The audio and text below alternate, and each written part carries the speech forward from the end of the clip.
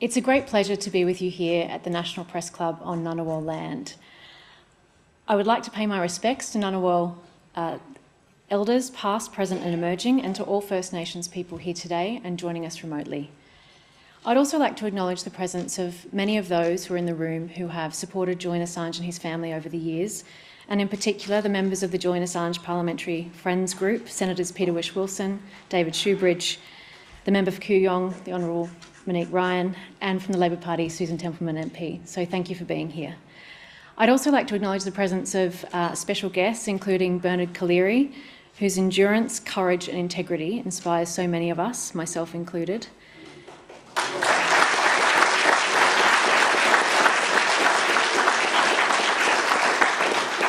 And David McBride, the whistleblower still facing trial, who remains the only person facing charges many years after the Brereton report.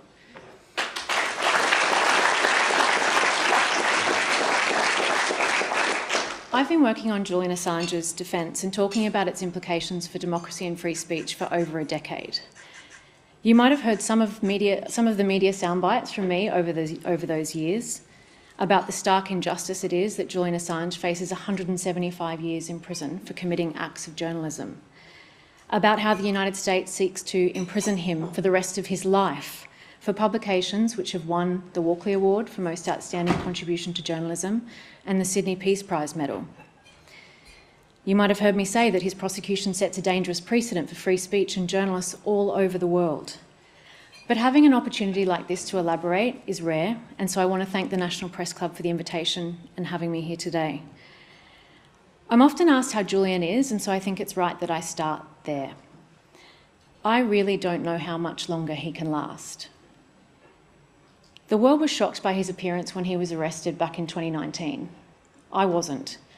For over seven years, I had been watching his health slowly decline inside the Ecuadorian embassy where he was seeking to protect himself from US extradition.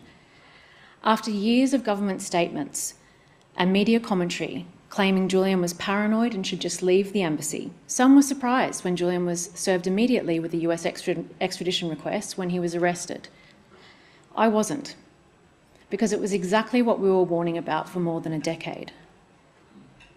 For the past three and a half years, Julian Assange has been in a high security prison, Belmarsh, known as the Guantanamo of the UK, and I've watched his health decline even further.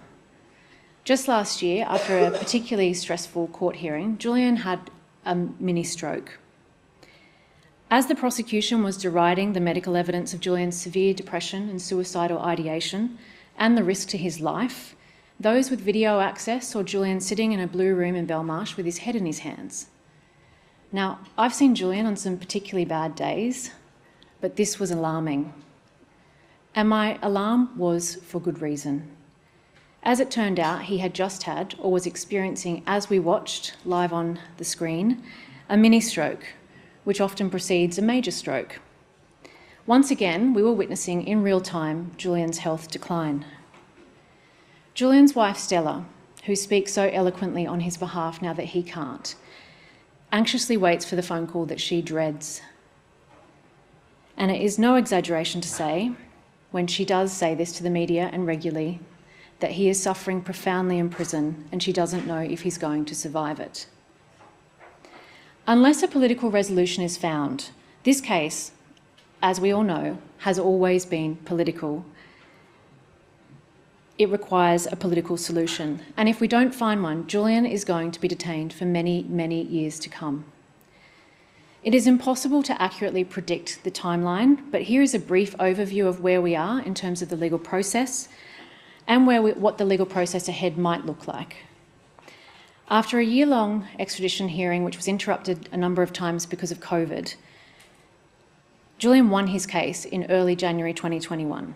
If extradited to the United States, he will be placed in prison conditions which are known as Special Administrative Measures, or SAMs. These have been described as the darkest black hole of the US prison system.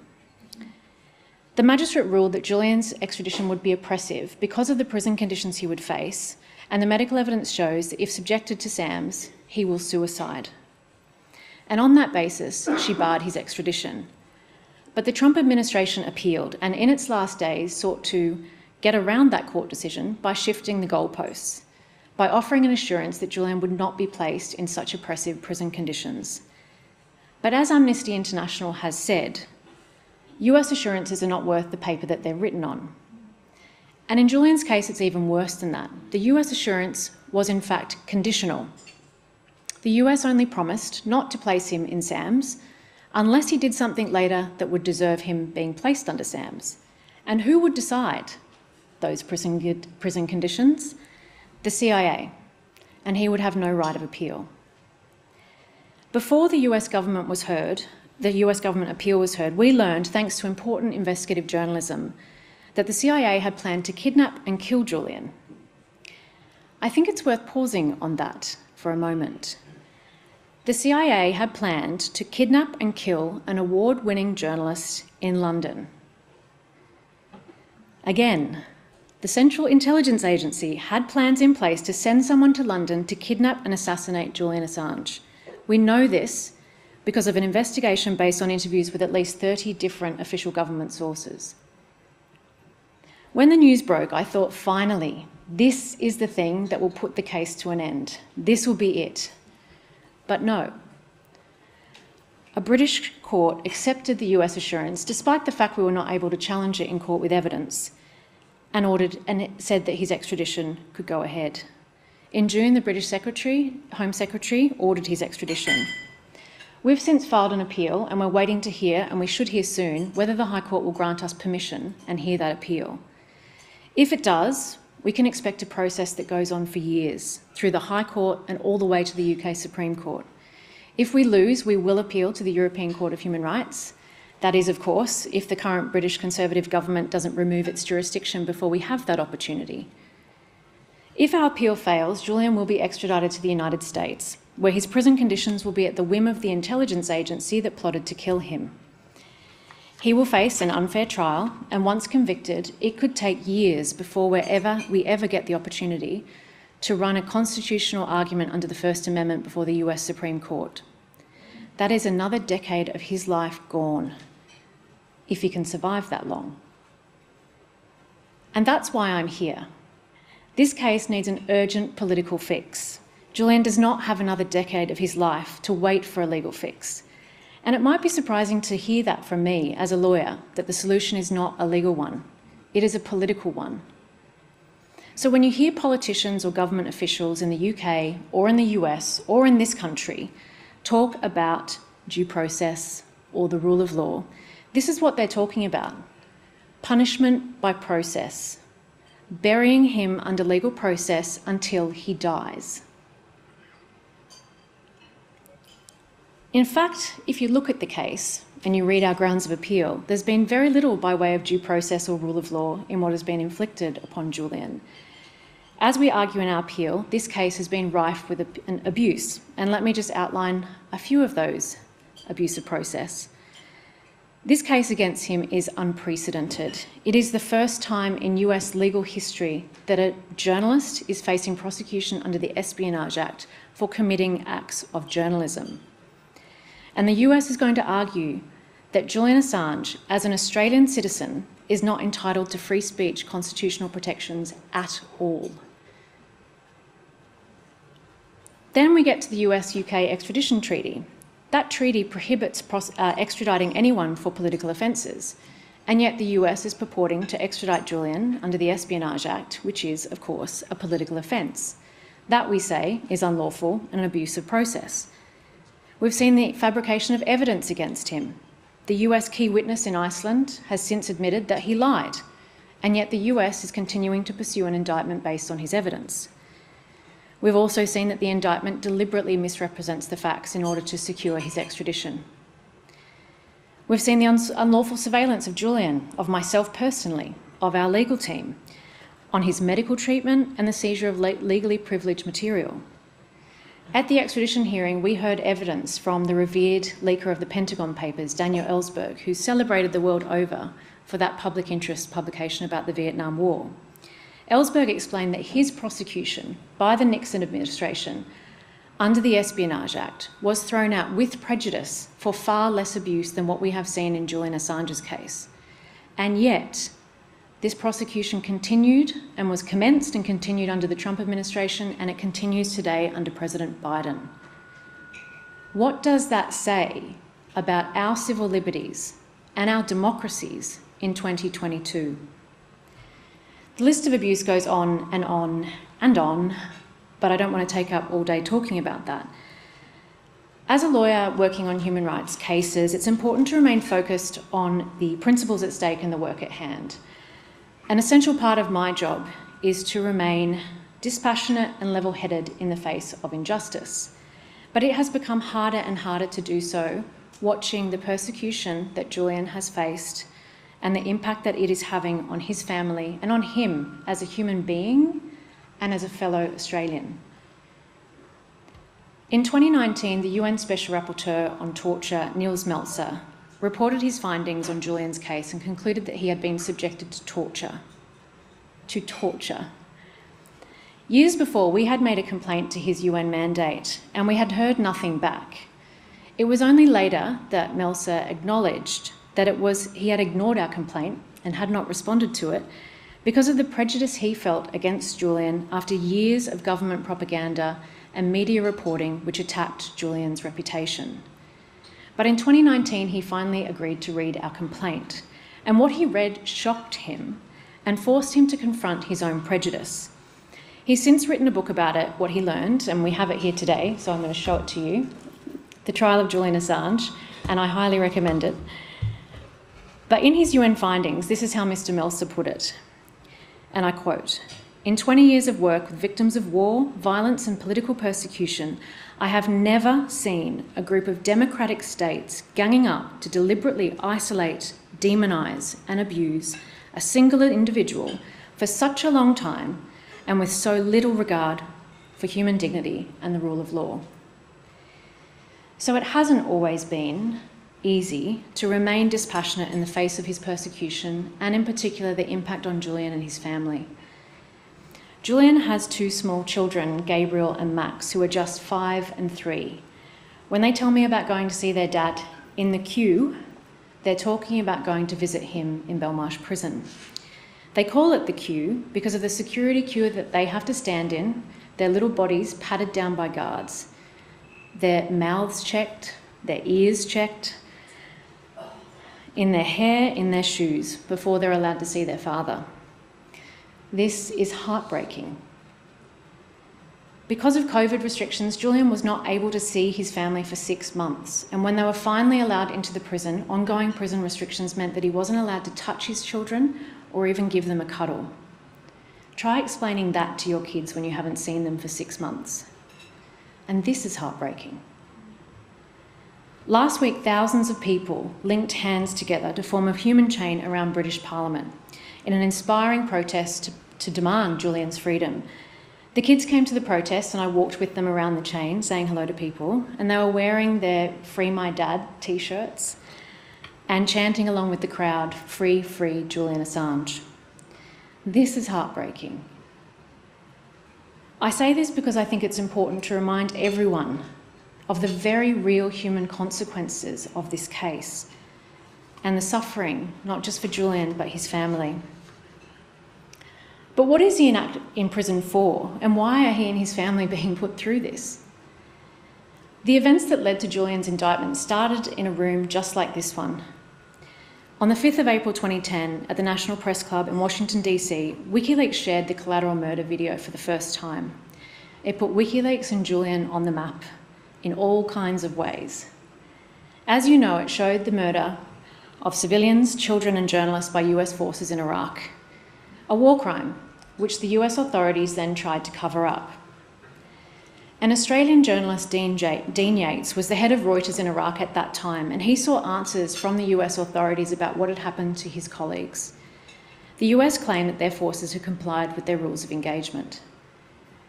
That was a lie, and freedom of information requests were for the information that would have proved that lie were denied.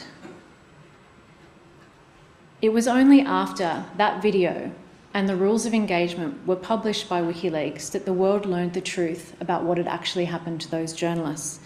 And I want to emphasise here that Julian is being prosecuted for publishing evidence about the murder of your journalist colleagues in Iraq. After the release of Collateral Murder came the Afghan War Diaries, the Iraq War Logs, and the State Department cables. In each of these releases, WikiLeaks pioneered global collaborations with journalists around the world.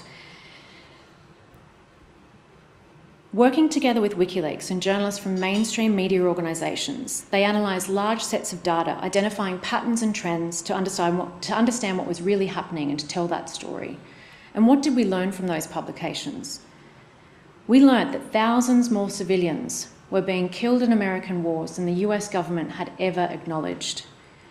They showed evidence of war crimes and torture by US forces, Western governments, and their autocratic regime allies.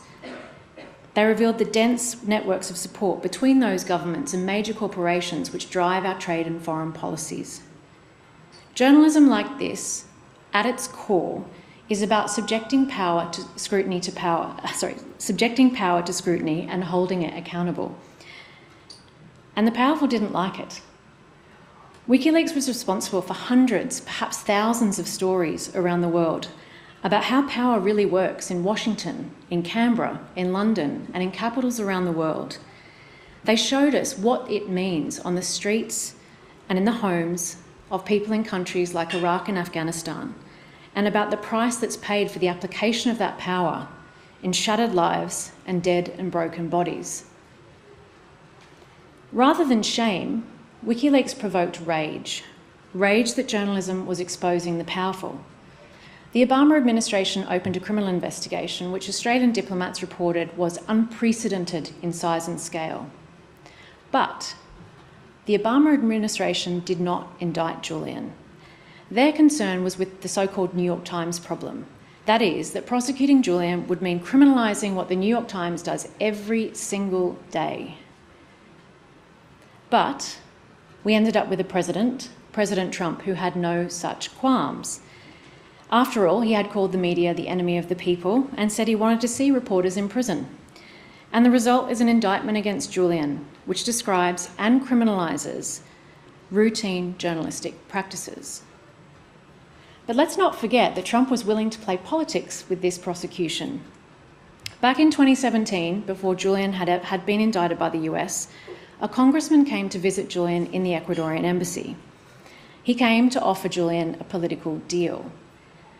I had been asked by Julian to attend and observe that meeting, and I later gave evidence about it at the extradition hearing. This was at the height of the Mueller investigation about Russian interference in the, U- in the US election in 2016. President Trump was then a subject of that investigation. Julian had already made clear publicly that the WikiLeaks publications in the context of the 2016 election had not come from a government source, but Trump clearly wanted to know more. Congressman Dana Rohrabacher made clear on his visit that President Trump was aware of and had approved of him coming to make this proposal. It was what he called a win win solution that would allow Julian to get on with his life Julian was asked to identify the source, his source, for the 2016 publications, which the Congressman explained would solve President Trump's problems and put an end to the Mueller investigation. In return, Julian would receive a pardon or some form of protection that he would not be extradited to the United States. And of course, Julian refused to identify his source. A publisher's promise to their sources is solemn, as many of you in this room will know, even if that promise carries a cost. Trump too made good on his promise. His, in, his administration indicted Julian after he refused to name that source. Julian has had many other opportunities to put himself and his own interests above the interests of democracy and free speech, and he has always put himself second. And the result is an indictment against him, which threatens free speech and democracy. The Freedom of the Press Foundation calls this prosecution the most terrifying threat to freedom of speech in the 21st century. And this is no exaggeration.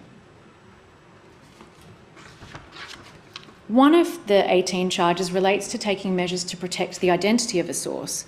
The remaining 17 charges are all brought under the Espionage Act, and they relate to receiving and publishing information, There is no public interest defence to charges under the Espionage Act. And around the world, the media has responded. The Guardian, the New York Times, the Washington Post have all made clear their concern about this prosecution and the fact that it is criminalising public interest journalistic practices that they employ every day. As the president of the International Federation of Journalists herself said just this week, if Julian Assange is jailed in the US, there is not a journalist on earth who will be safe. And she is right. If Julian is extradited, the precedent means that any journalist or editor anywhere in the world who published truthful information about the United States could face extradition and prosecution for committing acts of journalism. Would we stand by and accept this if it was Russia or China trying to do the same? I want to make a few uh, concluding remarks about Julian's future, about what the Australian government can do, and about what you in the room can do. Those who resolve Julian's case by securing his release from prison will be remembered well in the books that will be written about it. They will be on the right side of history. Australians remember well who brought David Hicks home. We remember well who got Peter Greste, Melinda Taylor, and James Ricketson out of overseas prisons. We remember well who got Kylie Moore Gilbert out of Iran recently, and if we can put to an end an espionage case against an Australian citizen in Iran, then we can do it in respect of an equally outrageous espionage prosecution in the United States. What a great day it was, that day that Kylie was brought home and was free. I look forward to another great day when this Australian Prime Minister and this government gets Julian out of prison. For more than a decade, we have been making this ask of the Australian government. We have had nothing but silence and complicity by consecutive Australian governments on both sides of politics. Not one Australian government has had the courage to ask our ally to do the right thing to protect this Australian citizen and journalist. We now have a Prime Minister who has said, and I quote, enough is enough. Prime Minister Albanese has said, and again I quote, I fail to see what purpose is being served by the ongoing incarceration of Julian Assange. A heavy price has been paid. And I couldn't agree with him more. But now we need to see action. We all want to see our Prime Minister stand up at the press conference taking questions about Julian's release from prison rather than his death in custody. And what will help the government bring this case to a close? You, the journalists in the room, you above all people are able to, di to differentiate between publishing and espionage, a distinction that the US government and its allies is trying to erase. You, above all people, have the unique opportunity and the responsibility of facing the Prime Minister and his colleagues every day. You can ask what's being done and when it is that we'll see Julian brought home. Ask them this, the Prime Minister, the Attorney General, the Foreign Minister, at every press conference until Julian is released from prison. Because if we don't see that day, Julian Assange will not be the last of your colleagues to have his life destroyed in this line of work. And what else will help force our government to do the right thing and bring Julian Assange home? You, the public. Protest, write to your MP, write to the Prime Minister, turn up at their offices and demand action. Working for democratic accountability is why Julian Assange is sitting in a high security prison today. And I believe that democratic accountability can help to get him out of it. So hold our government to account and let's bring Julian Assange home. Thank you.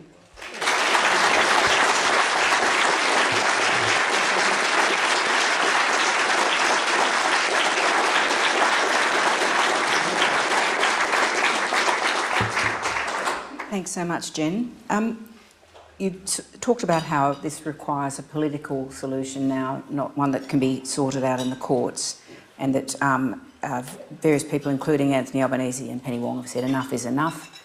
Um, it's not clear whether they've actually advocated either privately or publicly to the Americans about this, as, as you indicate. I was just wondering um, what what are the implications? I mean, you talked um, in brief about um, the Biden presidency. Is there any reason to believe that there might be a change from the Trump position, from the Biden administration? And what sort of risk is there if, as some predict, um, Donald Trump is returned to the White House at the next election? We certainly hope to see a change in the Biden administration. Uh, this prosecution runs completely counter to the Biden administration's own policies on the treatment of journalists and, and free speech principles we are in a, a, an, an, ironic and strange position where you have a president who wants to close Guantanamo, but his Department of Justice is prosecuting the person responsible for the publications that made the policy position he now adopts about the closing of Guantanamo possible. And so it's, it's really, I think, why it is an opportune moment for the Australian government to have these conversations. The Obama administration chose not to indict for that reason, and it's time the Biden administration adopts the same position and puts an end to it. What, what uh, is the relative role of um, the sort of, shall we say, the national security establishment in the US? I mean, you talked about the incredibly alarming revelations about the CIA, uh, but how much do you think this is being driven by that national security establishment, um, and how does that work in with the administration? Um, well, we do know that there, there was a possibility, and this is public, that Julian was on President Trump's list for pardons at the end of his presidency, and the reports are that it was put to a stop by by Mike Pompeo, who was um, then the head of the CIA. So um, I do think that there is a, the driving force is the intelligence agencies, um, and that is a concern. But this is a free speech question. He's a journalist. he's a publisher. It shouldn't be up to the intelligence agencies to make that decision. Next question is from Tim Shaw. Thanks, Laura, and uh, thank you so much, Jennifer Robinson, for supporting free speech, freedom of journalism, and protection of the truth. Um, it's over 10 years ago since I spoke to Julian um, before he went into the Ecuadorian embassy. And he spoke about that meeting that you had with Nicola Roxon, the then Attorney General of the Commonwealth. Um, we'd heard from Senator Bob Carr.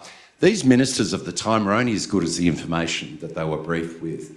Is it your view and Julian's view, as his lawyer, that in 2022, we're getting the kind of clearer, better, and more honest information to our politicians. It's not a legal matter now, as you said, it's political. But can you reflect on that time in 2010 when you met with uh, Nicola Roxon in 2012 and fast forward now to Attorney General Dreyfus's remarks, Senator Penny Wong's remarks? and certainly what you've just quoted from Prime Minister Albanese, both Labor governments. Thank you, Tim, for your question. Uh, we, we've seen a sea change in approach from, from the Australian government with this Australian government. Now, we've been working on this for a long time. We've been coming to Canberra to brief members of parliament. Um, the position could not be clearer now that the US has, in fact, indicted him. Back then, we were worried about the potential indictment, but it wasn't clear we, could, we weren't in a position to know whether it was there or not because of the secret nature of the process. Now we, it's there, it's there for all to see. We can see the stark injustice that it is.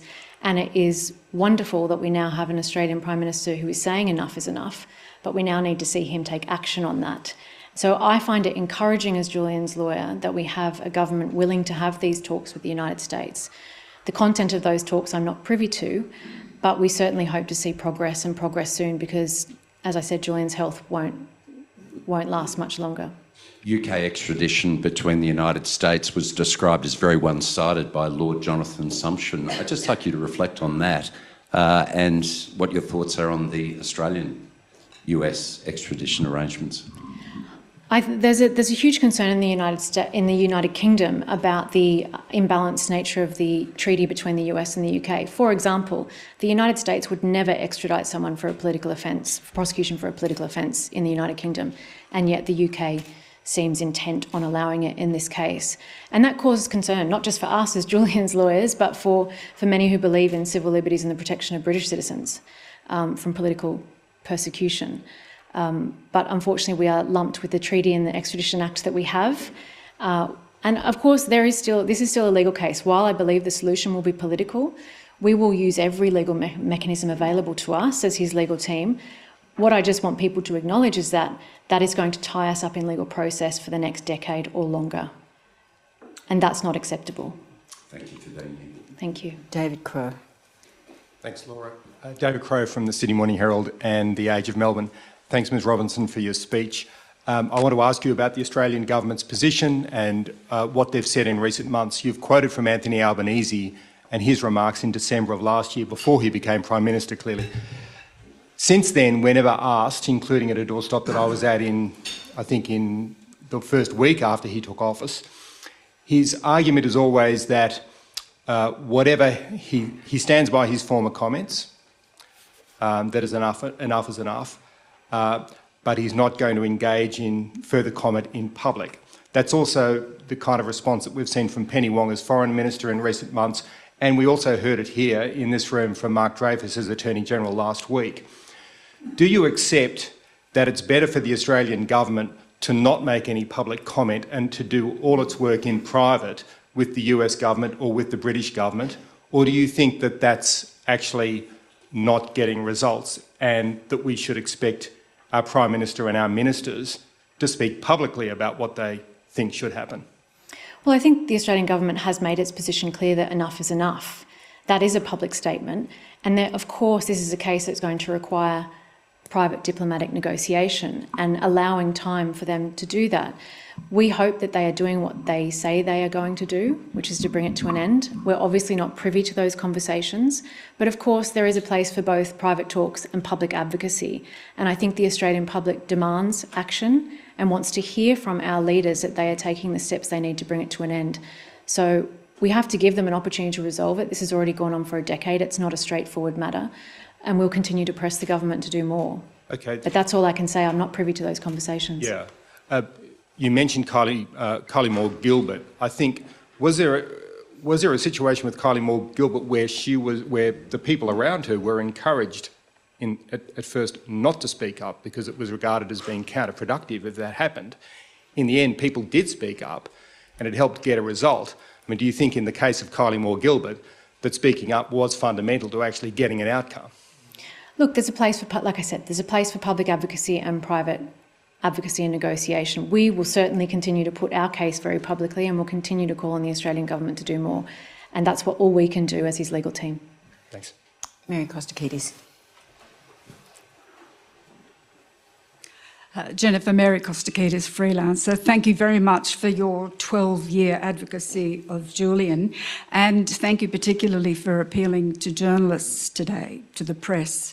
One of the criticisms of Julian that's uh, uh, often used to undermine what he and WikiLeaks achieved is that he's not a journalist. Uh, the US, in their indictment, uh, have attempted to differentiate between what WikiLeaks did and, um, and, and real journalism. I wonder if you could speak a little bit more about that, the charges that uh, uh, aim to achieve that differentiation, because we know that the US's main witness has been discredited. He outed himself by saying he lied to the FBI, and, and yet there hasn't been much coverage of that. Thank you, Mary. Um, I am so tired of this point and hearing it from journalists actually that Julian is not a journalist. He is a card carrying member of your media union who describe him and consider him as a journalist. What more do you need than that? And in any event, as a lawyer, legal protection applies to journalistic activity. So, whether or not you define someone as a journalist, the protection applies to journalistic activity. If you want to get into an argument about who or who is not defined as a journalist, you are going down the same path of countries like Russia and China. It is a dangerous road to go down. And this is why it's so important that journalists remember this. Legal protection applies to journalistic activity. If Julian's actions were Julian's actions were journalistic activity, the same kinds of practices that journalists engage in every day, receiving, possession and publication of government information. That is what's being criminalised in this case. By Julian being prosecuted, it is setting a, a, precedent that will apply to each and every one of you. So if you want to stand back and say he's not a journalist, I'm not going to advocate for him, you are literally shooting yourself in the foot and undermining your own protections as a journalist and as someone who engages in journalistic activity. Also, just one more question, and that's about due process, because we, that's all we've heard from politicians, uh, that we can't really intervene because there's a legal process happening and we have to uh, stand back and allow due process to take place. Um, as someone who observed his extradition hearings and the appeal process online, uh, I thought it was extraordinary that an Australian citizen, a publisher, an editor, was not allowed, not permitted to sit with his legal team, was sitting in a glass box at the back of the court where he couldn't confer with his legal team. And when he attempted to, when I saw when you walked up and tried to con, uh, confer with him, he had to shout so that everyone else uh, was able to hear him as well. One other thing that's not not known because it's not familiar to us in our legal system is that in the US, and, and this evidence was presented at his extradition mm. trial. In the United States, stakeholders have a say in sentencing conditions. So the conditions that he would be held in, the CIA, who we know uh, plotted to murder him, will have a say in the conditions he is held in. So could you tell us, from your perspective, the ways in which due process hasn't been followed? Like I said, I would be here all day describing to you all the ways due process has not been respected. Um, I'm interested to speak about what it's like to be in court with Julian, as Mary described. Uh, he's kept in a glass box at the at the back of the court. Um, so when things happen in court where he wants to give us instructions, which happens regularly, he has to try to get our attention, or he's trying to, sh- to speak to me through thick glass, which means not only can I hear him, but the prosecutors sitting opposite me can hear him. So we actually have no way of being able to speak in a in a privileged, confidential way during the course of the proceedings, and it and it, and it has a, a real impact on our ability to properly defend him. But just a few words about the due process or so called due process he'll face in the United States. If he's extradited to the United States, he'll face trial in, in uh, East Virginia, which is a, will be a jury made up of um, former intelligence agents or intelligence agents. That is where the CIA, the NSA uh, are all located. Um, the the process and the nature of the charging in the United States means that there's a 97% plea bargain rate um, in that jurisdiction um, he is very likely to, we have no hope that he will not be convicted. Um, and then he's stuck in process in the United States for a very long time. And I want to make the point too that a lot of people throw about this idea that was part of the assurance that the US said, well, he can go and serve his sentence in Australia uh, once he's uh, convicted in this jurisdiction. That is no solution at all, because what that means is that he will have to go to the United States, potentially be placed in prison conditions that will cause his suicide, if he makes it through the appeal processes all the way to the Supreme Court, only after that could we apply to try to get him home to Australia. And he won't last that long. So when you hear a government official roll that out as a solution, remember it is no solution at all. James Ricketson. Uh, James Ricketson. I was um, for 15 months jailed in Cambodia as a spy. And the first person that helped me with advice was Julian Assange via a, a, um, a, a, smartphone that had been smuggled into the prison. So I have a, personal reason for wanting to support Julian and also a reason as a member of the Fourth Estate. Um, a couple of points I'd like to make. One is, which is reiterating what you've said, Jennifer, is that in my case, Malcolm Turnbull, the then Prime Minister of Australia. Is this, is this going to be a question? Uh, yeah, uh, yeah. I'm just. It is. It is going to be a question. Asked, um, did a deal with Hun Sen, the Prime Minister of of, of Cambodia, um, to secure my release after I'd been found guilty and, and and been sentenced. My question then is, why is it that the Australian government persists in saying that they cannot intervene in the case of Australian citizens? That are in trouble, legal trouble, when it's clear from my case, from um, Kylie Moore Gilbert's case and Peter Greste's and others, that they can intervene. Thank you, James, for being here and for your question. Um, consular assistance is a very nebulous term. It effectively means it can mean anything from providing you a list of lawyers and saying good luck, um, to visit, visiting you on the odd occasion in prison. It is not a solution to cases like yours or to a solution to Julian Assange's case. So when you hear the Australian government talk about consular assistance, it can mean many things. It can mean next to nothing, and it can mean engaging in the way that Malcolm Turnbull did on your behalf. And that is precisely what we need to see happen for Julian Assange. We need Prime Minister Albanese to be on the phone to President Biden and to get this sorted out. Thank you. Um, just uh, following that through a little bit, Jen, um, you mentioned some of the various people uh, who've got caught up in processes over the years David Hicks, um, that, um, uh, um, Mr. Grester, I'm having a senior moment, uh, all sorts of other people. Can you see any trend in, um, in whether it's got better or worse in terms of government interventions from Australia, or is it still just basically a case by case question? I think those cases all show what the Australian government can do when properly motivated. Um, our intervention in cases of Australians detained abroad is entirely political. It always is, and it depends on the politics of the moment and the politics of the particular government. That's why it's so important to have a Prime Minister saying what he's saying now uh, and the Attorney General acknowledging that they're having these talks. It is something that the Australian government can do. We've seen it happen in other cases, and they can do it in this one. Nick Stewart. Following on from Laura's question, uh, we, we had a situation at the turn of the century where there was this incredibly positive feeling about the way law was working and, and the way the, the world was coming together. Since then, we've seen this division, obviously along religious grounds and, and um, also state grounds, ideological grounds, but also within the Western world We've, we've seen this division between the national security concerns and the ideological or the, the libertarian concerns. To what extent do you feel that the, um, you know, for want of a better word, the right wing, the security concerns have overtaken natural libertarian principles? Thank you for your question.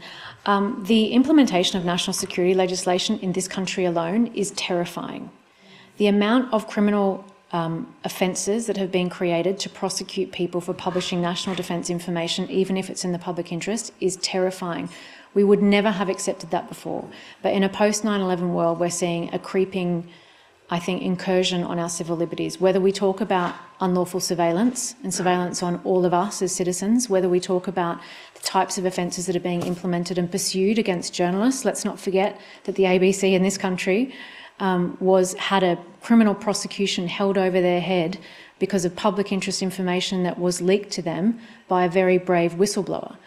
Um, this would we would never have accepted that before. We would never have accepted an Australian citizen being held in prison and facing life in prison for publications that he's won journalism awards for.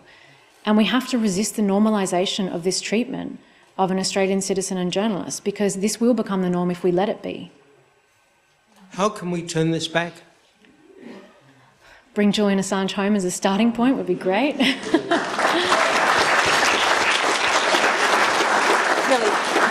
Kelly, Kelly Tranter. Hi, Jen. Hi, Kelly. Declassified Oz. Thank you for your address and your tireless advocacy for as long as I can remember. I have a, um, just a very brief question. You've said that you've been asking successive Australian governments for diplomatic assistance for Julian for over a decade, but successive Australian governments have done nothing. Mm. The Albanese government has said that enough is enough, and they refer to quiet diplomacy. But FOI documents received by Declassified Oz from the Attorney General's office confirm that a post extradition plea deal is still being considered, notwithstanding the dire personal consequences for Julian of landing on US soil and for journalists in this room and the world over. Do you think quiet diplomacy is effective when Mr Assange's position has not substantially changed in any way since the election in May? With over a decade, of inaction by successive Australian governments, are you confident that representations are actually being made to the United States that no extradition take place? And should Mr Albanese meet with Mr Assange's family? Thank you. Uh, first, I do think that the Prime Minister should meet with Julian's family. It would be a welcome um, gesture and one that I think the Australian public would fully support. In terms of, all I can say is what I have been told that private talks are underway. Um, for us, any kind of post extradition agreement would be unacceptable as an outcome. It is, as I have explained, no solution. Um, we cannot allow Julian to be sent to the United States to face those, those prison conditions. Uh, we know that there's, there's medical evidence to show that he will suicide if he's placed in those conditions, and that is not an acceptable outcome for any Australian citizen. Ebony Bennett. Thank you. Ebony Bennett, I'm Deputy Director at the Australia Institute. Jennifer, you've talked a lot about the threat to freedom of the press by the prosecution of Julian Assange. You just kind of mentioned the raids on journalists that we've seen here in Australia, and Australia has slipped down the World Press Freedom Index as well. We've also got Bernard Collaery in the room. We've seen not only whistleblowers prosecuted, but their legal representatives as well. How concerned are you about Australia's system of protection, not only for press freedom, but for whistleblowers and their lawyers? And how would you like to see that strengthened? Thank you. Um, well, of course, as a lawyer for, for someone who works with whistleblowers, to watch a colleague uh, prosecuted in our country for doing his job as a lawyer is fundamentally unacceptable. And our Attorney General did the right thing in dropping the prosecution against Bernard. You should never have been put in that position, and I salute you for your courage. Um, we do need to have a good look at Australia's free speech protections. Um, not just, and whistleblowing is an, an essential act in our democracy. Um, free speech and the publication of material in the public interest relies upon whistleblowers and the protection of journalists in receiving information from whistleblowers to hold our government to account. And the prosecution of whistleblowers like David McBride, of lawyers, of journalists, the raiding of the ABC is unacceptable. We cannot call ourselves a democracy if we behave like that.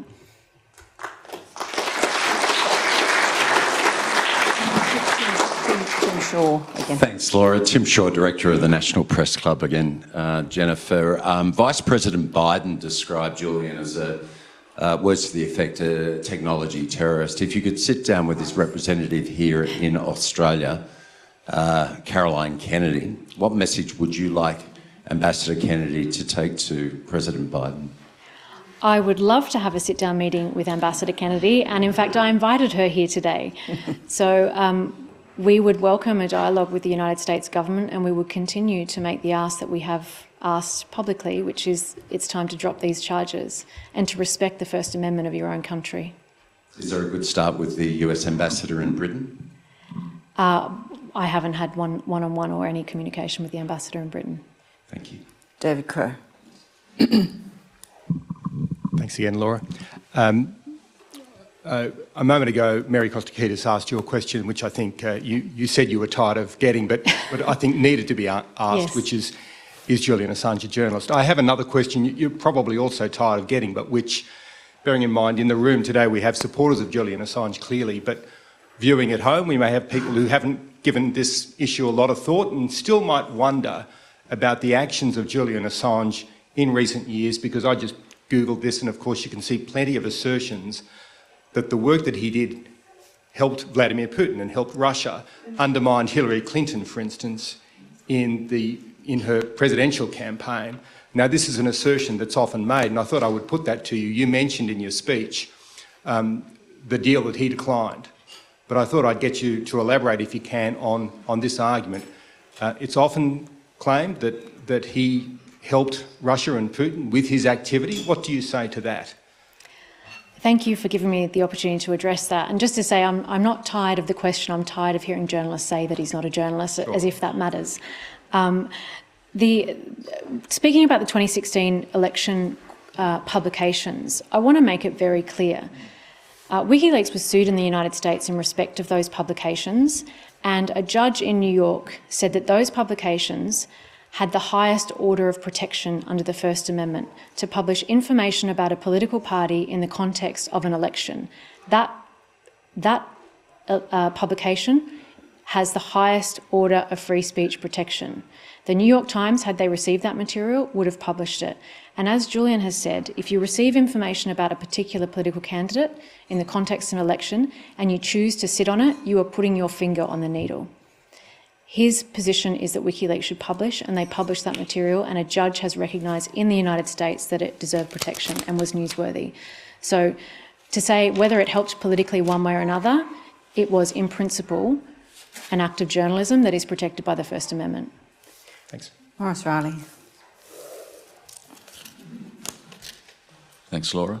Um, you could be going to the High Court and then the Supreme Court, and uh, and you know, anytime I go to court, uh, I find it an expensive process. I just wonder how you're going to fi- how you're going to fund this. You know, uh, who, who who funds this? You know, this uh, this advocacy at the end of the day, because it's uh, it's got to be people have got to do it.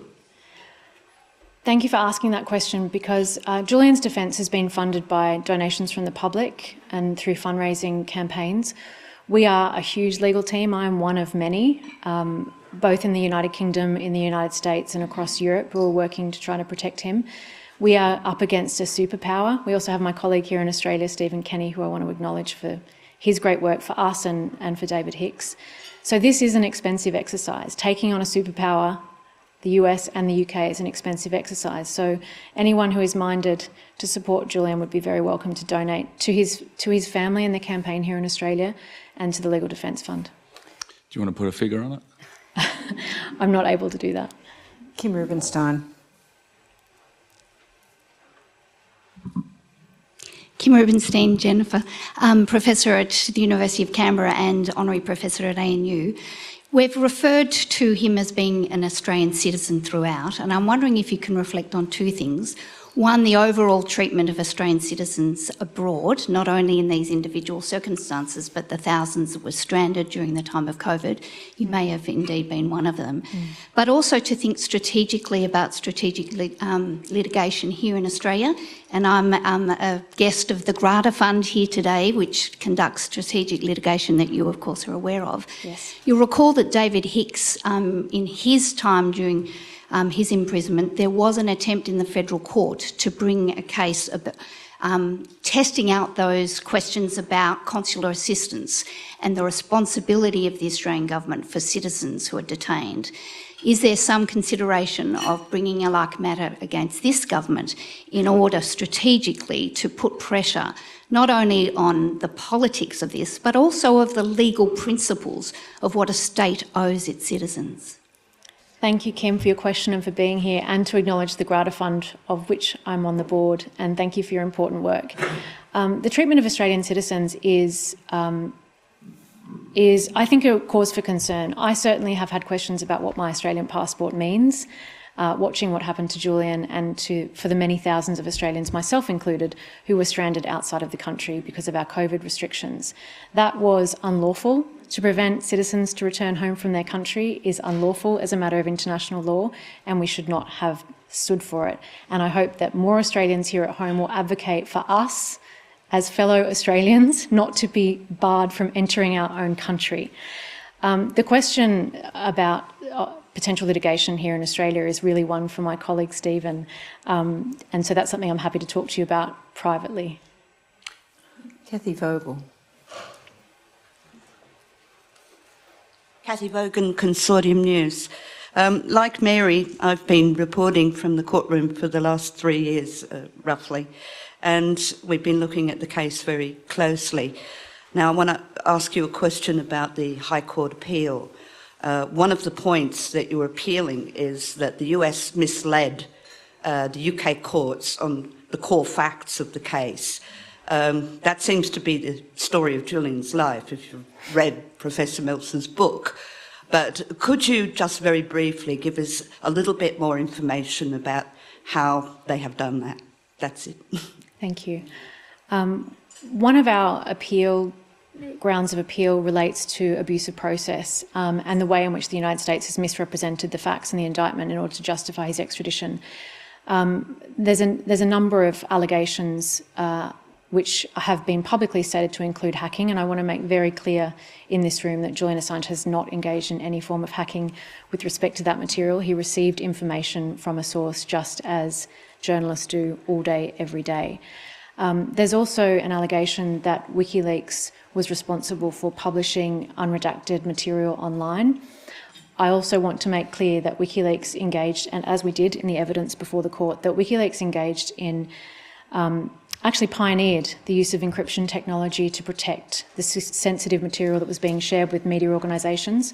Pioneered it, and I say that, that these media organisations did not have these protections in place until they started working with WikiLeaks, and that was at Julian's insistence and demand. Now we see it used in all journalism uh, operations around the world. Uh, WikiLeaks engaged in a redaction process with their mainstream media partners, and the reason that the unredacted material ended up published online was because of a security breach by The Guardian news, well, by journalists at The Guardian, and that was all put in evidence before the court. And in fact, the material was first published by a website in the United States, unredacted. It remains online, and he has never been asked to take it down. So uh, I think when you when you hear the government's narrative about what WikiLeaks did or didn't do, what Julian is or is not responsible for, I encourage you to look more closely at the facts that we presented in the court. And on that basis, we say that it is an abusive process to seek his extradition, claiming that he is responsible for the damage that was done. Damage which they say, and I want to make clear, is an allegation of damage, but there is no allegation, even on the prosecution's own case, that anyone was harmed as a result of WikiLeaks publications. Nick Stewart. In Australia, of course, we don't have any sort of freedom of speech guarantee. Do you think that we're looking at uh, changing the constitution now? Do you think there's an, any need for that uh, specific freedom of speech, the freedom to publish um, information, if, if it's found or if you genuinely believe it? To allow that so that we can actually um, produce whatever we, we believe in to be genuinely true. It has long been my publicly stated position that Australia needs a Bill of Rights. We need uh, an explicit right to free speech. Um, we have one implied by the High Court in our Constitution. That's not good enough, in my view, and I think our country could benefit from more explicit protections on all range of human rights, but freedom of speech in particular.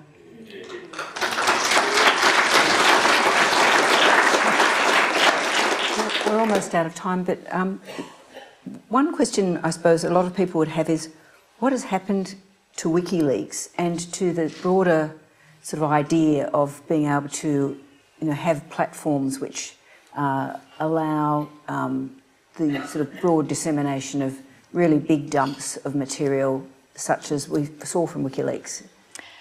Well, WikiLeaks is still in operation. Uh, Kristinn Hrafnsson is the um, editor in Julian's stead. Obviously, Julian can't continue to run the organisation from inside a high security prison, uh, but they are continuing to, to publish and to receive information. And we're seeing more and more these kinds of big global collaborations um, with the International Consortium of Investigative Journalists who are replicating really what WikiLeaks first did with their first big publications massive data publications sharing among media organisations around the world uh, to make sure that those stories are given context and published in different countries where they're relevant. So I think that is the future of journalism in a global information environment where we are so connected that these stories will continue to be reported on in that way.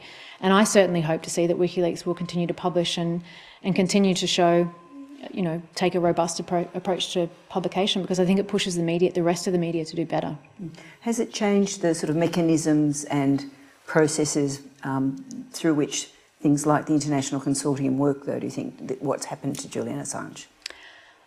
I think, well, I think they have all learned from what WikiLeaks did because they're replicating that in terms of the global collaborations. I think, I think journalists are concerned about what this prosecution means and are, are cautious. Um, and, are, and that's a problem. We're seeing a chilling of national security journalism. Thank you. Please join me in thanking Jen Robinson.